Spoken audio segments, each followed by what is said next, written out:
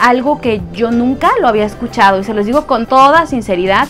Y literal me traje la pipa en la mano. sobaco pues es el, pues el, yo creo que yo también digo sobaco.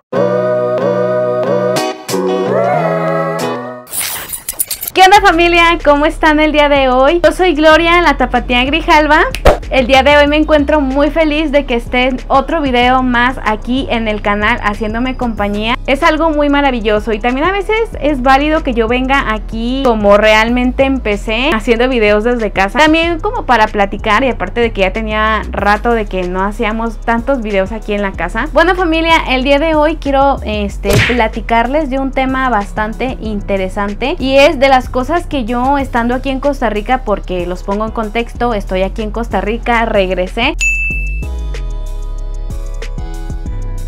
Y si no han visto ese video lo voy a estar dejando aquí para que lo vean. Eh, regresé aquí, estoy en Costa Rica. Primero que nada he aprendido que aquí a los padres, al papá, no se le llama mi papá. Hay ciertas personas que le llaman mi papá, mi padre. Se escucha mucho también la palabra mitad. Decirle al padre o al papá mi tata es algo que se dice aquí muy seguido en Costa Rica. algo que yo nunca lo había escuchado y se los digo con toda sinceridad. Nunca había escuchado la palabra mi tata. Ahora que estoy aquí en Costa Rica he escuchado a muchos ticos que hablan entre sí. Yo le pregunté a varios ticos que era mi tata y mi tata es mi papá. O sea, mi tata es referirse a tu padre. Y es muy interesante. Mi tata sí se escucha en México. Sí se escucha esa palabra, pero es más bien para decirle a mi abuelo. Yo sé que a lo mejor tal vez sí se utiliza la palabra mi tata de referirse a nuestro papá. Como les digo, es algo que yo actualmente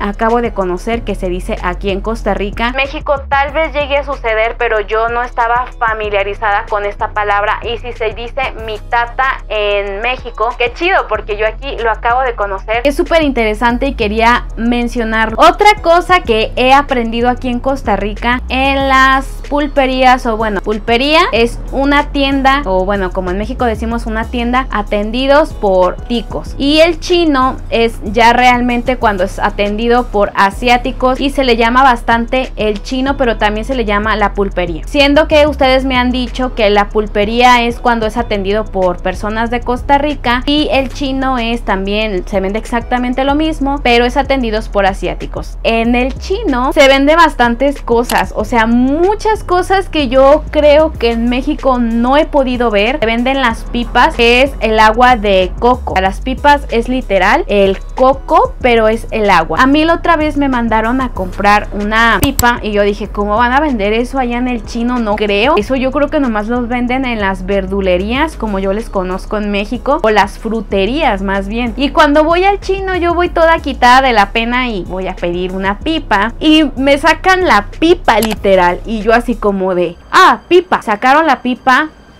la destaparon, la abrieron y le pusieron una, ustedes le llaman pajilla, para mí es un popote. Se lo colocaron y literal mm, me traje la pipa en la mano. Yo en serio dije, no van a vender una pipa. Es increíble que vendan una pipa y sí, Costa Rica, siendo Costa Rica, y lo venden en las pulperías también. En las pulperías o en el chino venden de litros de helado. Venden helado. En México yo en las tiendas de la esquina no vendían el famoso helado. Yo de hecho me saco mucho de onda y me sorprendo. Y sé que venden muchas cosas en el chino porque pues obviamente es su chamba tener un montón de cosas. Tengan mucha variedad para que más personas vayan a consumir. Muy interesante para mí y yo lo he aprendido aquí en Tiquicia. Otra cosa de la cual he aprendido aquí en Costa Rica son algunas palabras. Por ejemplo, las partes del cuerpo a la cabeza no le dicen la cabeza, le dicen la jupa. A la cabeza se le llama la jupa, a los pies se le llama los troles, los zapatos pues obviamente se le llaman el caite cuando es un zapato o los caites cuando ya son el par. No, los caites, ¿dónde dejó los caites? Pero vamos a preguntarle a Google para decirles los nombres del cuerpo porque luego van a decir, y te hizo falta esto, esto, esto, esto. Así que vamos a preguntarle a Google. Partes del cuerpo. La jupa es la cabeza. Los guachos son los ojos. La jeta es la boca. Las mechas es el cabello La ñata es la nariz o también este, se le llama panza o timba. A la panza, bueno, yo le digo la panza o el estómago. Las canillas son las piernas. El sobaco, pues es el, pues el, yo creo que yo también digo sobaco, las axilas. Los troles son los pies o también este, se les dice las patas. A los dedos se les llaman los jocotes, es lo que estuve viendo. Y familia, les digo que es bastante interesante las partes del cuerpo alotico, yo no lo sabía.